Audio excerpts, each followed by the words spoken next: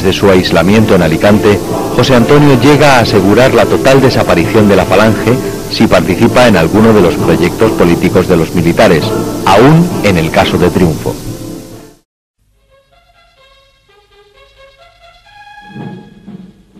En abril de 1937 se da un paso decisivo para la configuración del Estado franquista. Fracasados los planes de conseguir una rápida victoria militar, el generalísimo aborda una decisión de gran trascendencia. Suprime todos los partidos y organizaciones políticas que aún existían en la zona y unifica la comunión tradicionalista y la falange, así como sus milicias. Culmina de esta forma un proceso de concentración progresiva del poder en la persona de Franco. El lema, una patria, un Estado, un caudillo, de claras resonancias nazis, lo resume gráficamente. El nuevo Estado requiere una organización y cuadros idóneos para administrarlo.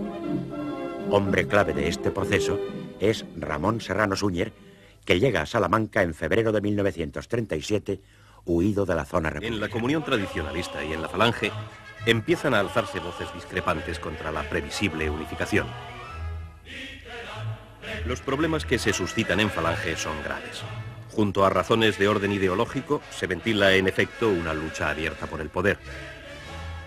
Tras el fusilamiento de José Antonio Primo de Rivera, le ha sustituido como presidente de la Junta de Mando Provisional Manuel Edilla Larrey, mecánico santanderino partidario de dar a la Falange una orientación antiburguesa, antiderechista y que se autoproclama revolucionaria.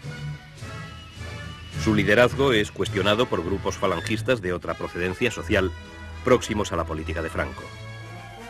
Los monárquicos de Renovación Española aceptan con entusiasmo la unificación.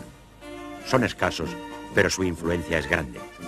Ocuparán cargos de gran responsabilidad en el nuevo Estado y poco a poco su ideología va a superponerse a la falange y a los carlistas.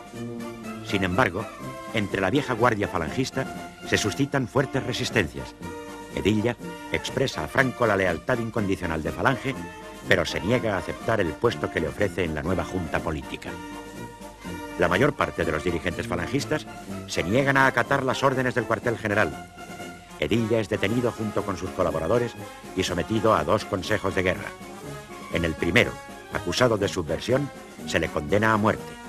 En el segundo, se le atribuyen las muertes ocurridas el 16 de abril y se le condena a 20 años de reclusión. Franco consigue sus objetivos.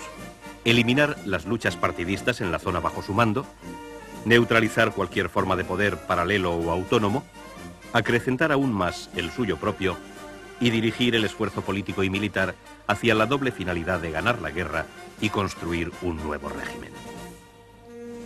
Falange paga un fuerte precio por su acceso privilegiado al poder. Pierde su identidad como partido, que se pretendía antiburgués, republicano, laico y dispuesto a realizar una revolución nacional sindicalista. El 19 de abril empiezan a llegar multitud de personas sin otra ideología que la del medro personal al amparo del nuevo régimen, en el que pronto tendrían decisiva influencia los representantes de la derecha tradicional. Serrano Súñer sentenciará las consecuencias de la unificación, afirmando que con ella moría Falange y nacía el franquismo.